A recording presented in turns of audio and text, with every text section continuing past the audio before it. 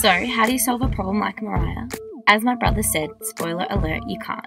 So there you go, I'm just an Australian girl with the world at her feet, working in public relations and communications, who is learning about life and myself every single day. Join me as I tell you stories, share my outlook on life, and just talk utter garbage.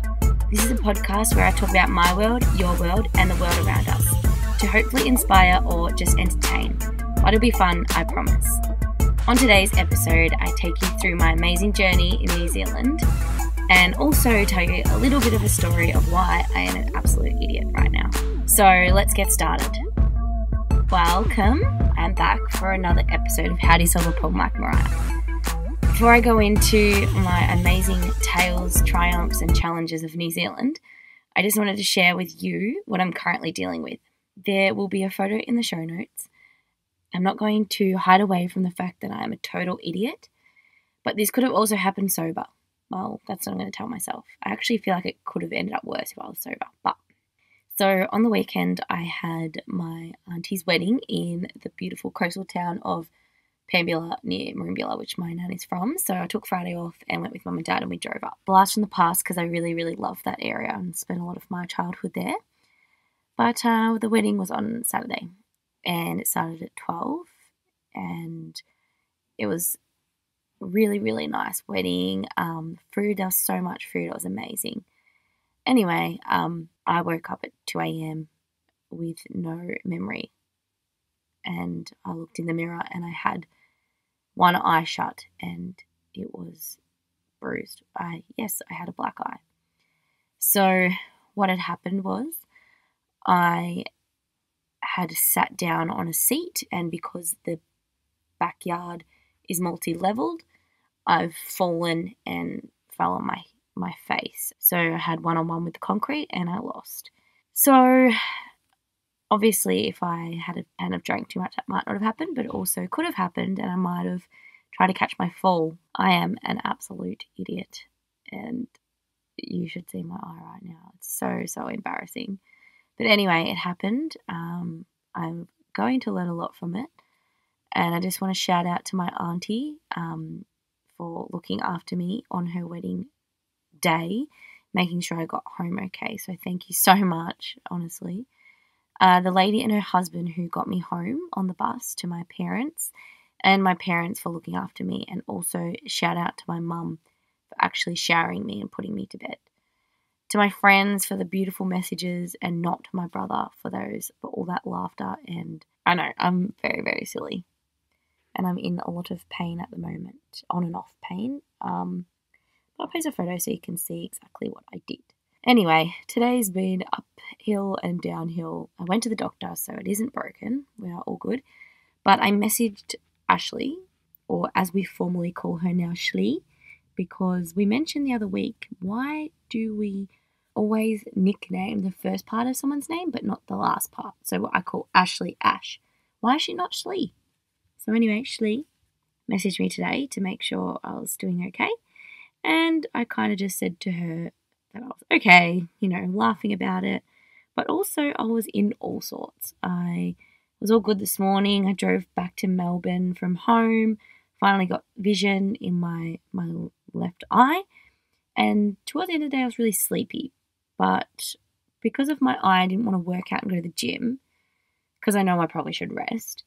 But then I just felt like a fat mess because I wasn't going to the gym and I'd had all weekend off.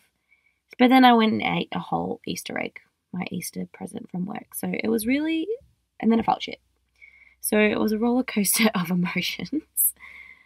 and yeah, anyway, I, I'm, I'm going through moments and it is, it is funny, but also at the same time, um, it's really not ideal. And I don't recommend anyone get to that point where that happens. Um, and also I am in day two of what we call regrets. So day one's really bad, day two can often be worse, and day three, you're over anything that you've done and you're ready to move on. So bring on day three, and I'll let you know how we go with that. So, anyway, on to my amazing trip. So, to make your year better, we're going to pull in this segment and say, do something that you never thought you would ever do. Mine was hiking and camping, and although it was challenging, I really did have a great time. And that wouldn't be normally something I would book for myself, but I'm super, super glad that I did it. Um, and for my life hack, a few life, a few hiking life hacks is New Zealanders call hiking tramping. So if you hike, you are a tramp or a tramp, probably just a tramper. But anyway, they go tramping, not hiking or trekking. So there's a good one. And if you are hiking slash camping, uh, your headlight should be on low beam. If that is hiking etiquette to be considerate to others. So remember that when you're hiking, headlamp on low beam. Also pack thermals because they will actually be lifesavers. Really, really lifesavers. So they're my little life hacks. But um anyway, let's move on and due to this black eye, a week of washing, a wedding on the weekend, and my birthday brunch, which was after the day I flew home, which was also messy and just my whole weekend was gone. I haven't really prepared for this episode, I'm going to be honest. Um, I hoped that all my video and audio from along the journey will save me for this one. But I'm sure I've got a lot of content, so I'm going to share you my journey through my videos and audio that I did while I was away. And I think I'm just going to like add little bits in as I go. So I need to actually physically find the content I have and then mention bits throughout the journey. But um had a lot of key takeaways and we'll, you'll definitely see those and it was the most amazing trip. So let's check out my New Zealand journey. So we're officially back from New Zealand and the Women with Drive New Zealand Challenge that 11 of the women throughout the Cox Automotive Australia and New Zealand business took part in. And I just wanted to discuss some of the key learnings from that trip. And I think that was that no matter whether I am female or a male, that I could achieve anything, whether I have the right mentality and support network behind me. So I think what we learnt mostly is that with the right mindset, a positive attitude, and teamwork that you can get through some of the toughest challenges, whether that's personal or professional. And I think I also learned throughout that trip is no matter how tired you are or how mentally drained, five minutes, 10 minutes, any form of break will go a long way into giving you a fresh start or looking at something. So, whether that's top of a mountain and hiking, you know, a really long distance over a long period of time, or whether it's doing a piece of work in the workplace, if you're mentally tired, even the shortest little break can really help in giving you a fresh set of eyes or legs to really accomplish that goal and also at the same time not being afraid to ask for help when you need it. I know at times if I physically wasn't prepared and mentally prepared, that someone else might have been physically prepared but not mentally. So we worked together and vice versa to really push ourselves over those challenges. And that was just one of the most amazing support networks that you could ever come across when you really, really need help. Just ask for it. And I'm sure that anyone within your team will be willing to help. It's all about communicating. That was one of the key takeaways. People aren't going to know if you're struggling, so you need to voice that. Or just helping someone else out, just asking if they're okay and if they need help because, you know, often we are too afraid to ask. And if you see someone that's struggling with a piece of work or that needs some time out, it's always good just to ask where they are and how they're tracking. So that was another key takeaway. And the last one was just that we work for an amazing company that's willing to support our women within the Cox Automotive business to be the best people they can be. Okay, so I haven't really done much of a video. So, day one, we headed to Mount Aspiring and we actually couldn't get to the car park, so we had to walk. So, we did our first water crossing within the first like five minutes, and it was horrendous rain. That was one of the biggest challenges so far. Um, but we learnt to work as a team and to not let anyone behind. I'm doing my video, not let anyone behind, um, which we can definitely take back when we head back to work. as we work as a team. Day two, we walked back and walked up the glacier, which was very, very steep. And a few little injuries. Um, we learnt that mental starts to kick in once physical lets you down. Um, so, yeah, I think in work scenarios we can push through anything um, with the right mentality. Right now, it's day three, day hasn't finished, but we just went calf deep in water and my boots are very wet and my feet are freezing. But it's a lot colder down here. So um, we'll keep you updated. But we have learnt a lot about each other and come together as different brands from around the Cox Automotive business. And it's been really good to get to know all the women within the company and their roles within the business.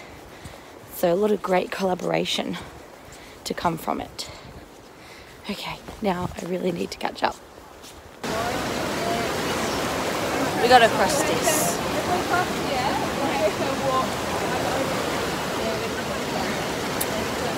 Um, Comment, special I think you should go on the right hand side and you can block the current.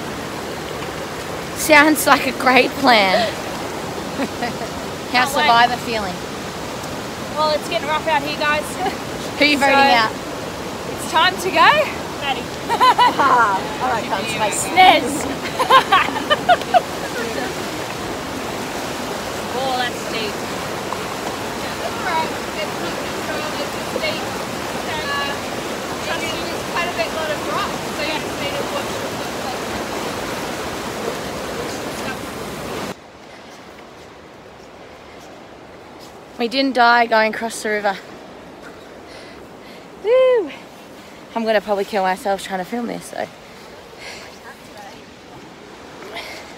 Rosie and I are really hungry for the sandwich. So hungry. What'd you put on yours, Rosie? Um, salad, cheese, chicken, hummus, cranberry, oh. capsicum. Did What's you on yours? opt for the cheese bread? But I for the what? Cheese bread. What's the cheese bread? There was cheese crusted bread. Oh, Sorry to break it to you. I got the cheese bread. Nearly just lost the gang. But um, He's uh, nearly found tramp skills. tramping, a New Zealand delicacy for hiking. Tramps for life. We uh, found Women with tramps. women Tramps with drive. tramps for drive. So uh, what you have to look for is, whilst hiking, these orange poles, which Christy saw because we had no idea where they went. All right. What's been the highlight of the hike, Christy? Just getting up that rainforest. That was hard. Climbing like a monkey. That was hard. Oh, that was really hard actually. Um, are we still going the right way? I think so. Makes me nervous because we can't see him. How you going, Ellie? How you going? What was your highlight so far of today? Not dying. You liked the moss. Nah. Yeah. Oh, sorry, I didn't hear you. Highlight of the hike. A highlight. Yeah. Getting home. Hey, there you have it. Getting home, highlight of the day. I think I- we're actually at the point of breaking. I think I'm gonna vomit. I'm send help. This is where we're heading up a actual rock face with not a lot of guidance. Shit. This is where uh, Simba is from. Akuna Matata. It means no worries. We can make it down this. Alright. Update on the the hiking. We did make it to the top. Even though I actually was gonna cry. And um some of it wasn't all tears, but we'll go into that another time.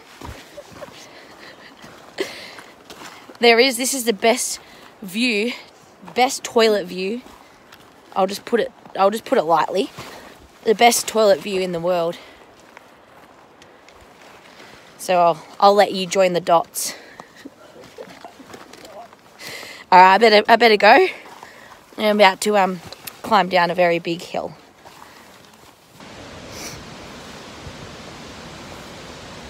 So um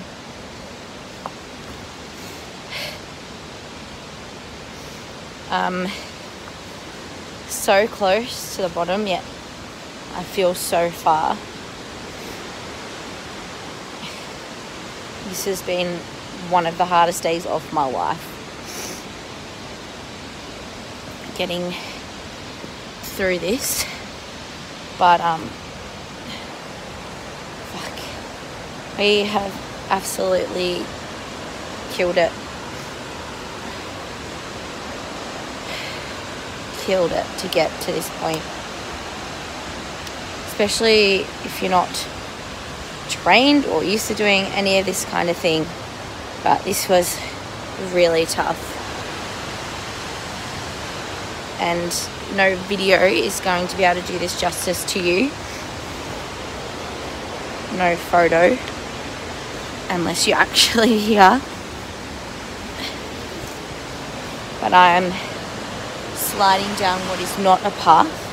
This is no bloody local hike at home day walk. This is actually next level. What if we did what we learned? How are you feeling? Accomplished. What did you learn from today? I learned that I can make it. With support. Yes, we all, all, yeah, the girls. Yeah, the girls. Rosie, What was the question? how are you feeling? What I learned today. Wait, how am I feeling or what did I learn today? how are you feeling first? Um, I'm feeling a little worse for it. what did you learn? Um, what have I learned? That I have a lot more endurance than I thought I did. And that I can climb a fucking mountain. Woo! yeah. Ali.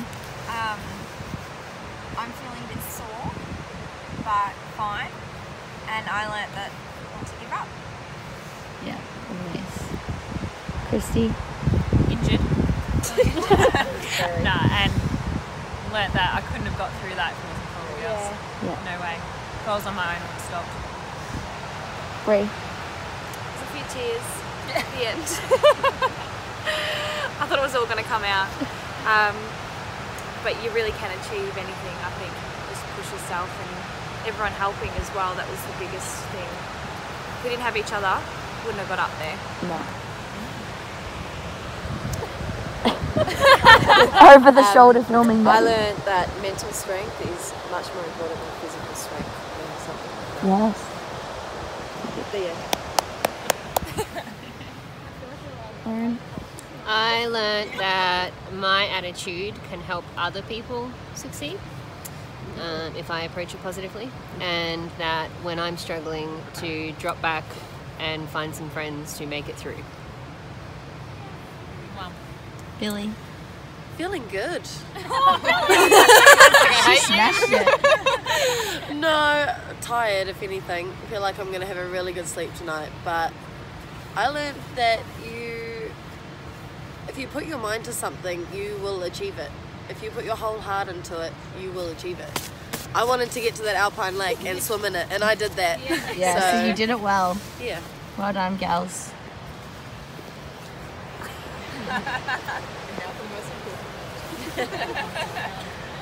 Alright, how you feeling? Sarah's feeling amazing, and she's. what did she learn about us? Oh yeah, what did you learn about us, Sarah? Oh, I was extremely impressed with everyone. I think everyone really did put their minds to it and they achieved something that I think you probably didn't think that you would be doing a couple of days ago, and now you're crossing rivers and climbing up crazy rocks, going swimming in freezing lakes. So I'm very proud of everyone, and everyone should be very proud of themselves as well. Well done, girls. Alright, what did you learn today? Alright, how you feeling? I've learned that I've got a double chin. no, I'm I'm feeling very sore and dishevelled, and I was very emotional on my own at one point. But I learnt with the right support network, you can achieve whatever you want. And I learnt that mental, physical can only get you so far, and then you have to kick in mentally. And that we work with an amazing bunch of women. Yes! We all learnt the same thing. I think so. We learned that we're legends. The same thing. We learned that we're inspiring legends.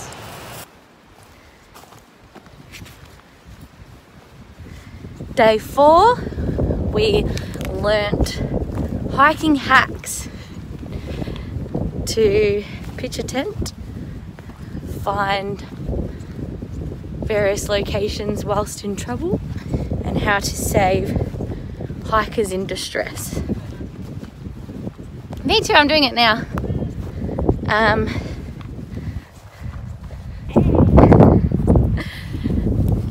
I think what we learned is that we can work together as a team when under difficult situations and how to keep calm, which we can definitely take back to the workplace. Pay forward to our team members by being calm and leading the way in high stress situations.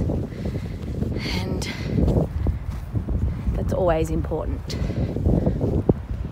Currently, we are currently walking to the boat to head back, but I think whoever said this is not a challenge was very, very wrong. We have all been tested physically, big time, mentally, even harder.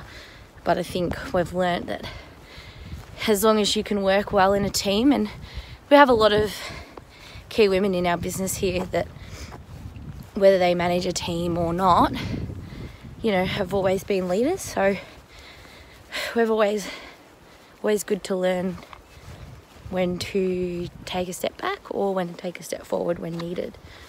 And I think everyone's played a key role in doing that throughout the five days.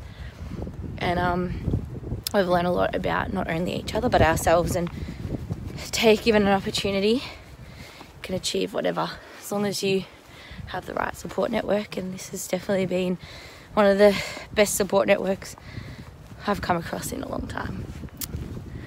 So I think that's it. We're done, Hilly. Just waiting for the boat. Okay, so just to recap what I spoke about with the hiking, a lot of the first part you would have heard is us attempting to do a river crossing, um, which was all the rapids, and that was actually quite deep. It was above our knees, um, so it was quite terrifying. And I think one of the key words or phrases for the trip was "be bold, stay cold," and uh, we definitely stayed cold for a majority of the time. Putting on wet boots and wet socks every day was really, really challenging mentally and physically, obviously. Um, so, what you heard most of was from day three to Lake Crucible. Put a photo in the show notes, but um, essentially it was an hour over a valley, which was fine, you know, flat. Um, two hours up a forest, and it was holding onto tree branches and physically pulling yourself up, which I also post a photo of that. Uh, there was a river crossing, as I said, and then once you finished over the river, you had that feeling of you're nearly finished. And then we looked up and saw the top. And that was so draining, like so, so mentally draining. Um, you heard some of it. I was really, really puffed, as you could hear. And as you may be aware, I definitely really need to go to the toilet. So that was one of my issues. And in the end, I managed to scale that rock face in, I think, 30 minutes instead of 45, like they told us, because that's how much I needed to go. Anyway, we won't get into that. But then we swam in like three degrees and we jumped in this lake and it was freezing. I'll post a photo of my face when I got out. It's actually really funny. But um, it was really exhilarating. Uh, but then going back down was really, really tough. what we found is um, it was really hard when you're on your own. You'd find yourself going too far forward or dropping too far back, and you were in between groups because obviously a lot of us had different paces. So we found that really tough, and that was something we, we mentioned because you had to rely on yourself a little bit more rather than someone else to mentally push you through. And as I said, you know, someone might have been mentally okay but not physically. Someone might have been physically okay but not mentally. So it was good to use our strengths together to get around what we did and to get through that hike, which was one of the toughest days ever mentally for me. Um, but now when I work out, I'll go, it's not as bad as Lake Crucible walk. So that was um that was definitely going to be something that we'll uh, get ourselves through. But also at the end of this podcast, I want to have a couple of little bloopers. Um, we also had a lot of funny jokes, some nicknames. Some I won't go into because they are about myself. Um, but yeah, we we definitely learnt a lot about each other and we had a lot of fun together and a bond that you know you probably would never have with someone else like I've said um, from doing something so mentally tough. I think one of the scariest parts is when we got back um, two of us hadn't two of our um, group hadn't made it back and they made it back about an hour to 45 minutes just before nightfall and that was one of the hardest things is knowing that you still had people out there when you were back at the, the hut. So, um, but yeah, I'm going to post a blog so you guys can read a little bit more in detail about what we did and, and, um, you know, where we went and you can definitely see more visuals on that. But, um, I just wanted to give you a bit of an overview of how it went for me and how I'm feeling now. Like obviously with my eye, I'm not feeling mentally the greatest, but, um, it was so so uplifting. And um I know there was a lot that I can take back to my personal and my work life. So I think it just uh, the key learnings is putting yourself into difficult situations for maximum effort and maximum benefits is always always going to help you learn and grow. I think that was one of the things I learned. So just a few takeaways from that trip. And um, another takeaway is always take those opportunities because I will never ever book anything like this. And I'm so, so grateful that I got to go on it. So definitely, definitely take those opportunities.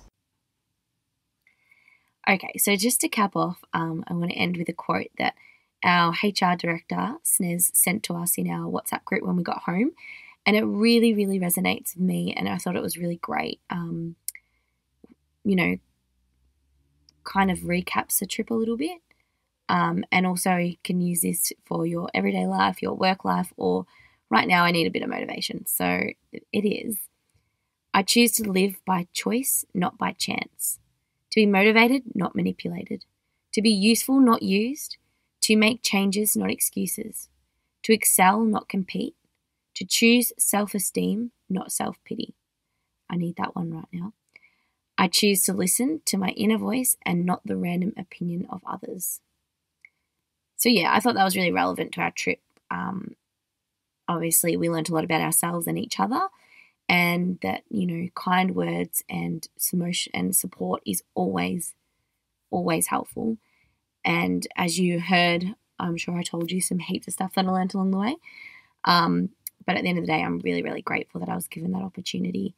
Um, come away knowing 10 amazing women, not just within the automotive industry, but just in life. Like they were really great people and we did really have fun. We have a lot of inside jokes and, you know, it's it's so interesting because sometimes you'd never experience that with certain people in your life and to be able to experience it with people that you work with um, it's really empowering so I really, really got a lot out of that. And maybe in the future, a one day hike, but probably not the full full experience we did. Um, but it was, yeah, really emotionally tough. And I spent a lot of last week and last week at work feeling pretty drained. And um, I remember Mervyn saying to me, like, are you okay? Like, you seem a bit off. Like, you're right. And I think I just like really overwhelmed by how amazing it was. But at the same time, you know, to have to have people rely on you to push them, but also rely on others to push you,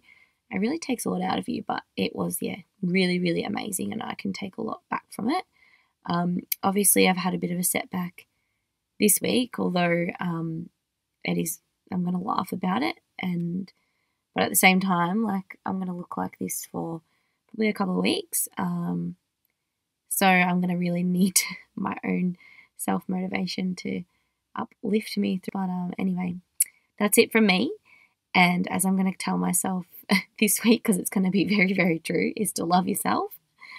Because if you don't, no one else can. Um, and if I don't love myself in this state, uh, this is me at my worst. So uh, we will talk to you later. And thanks so much.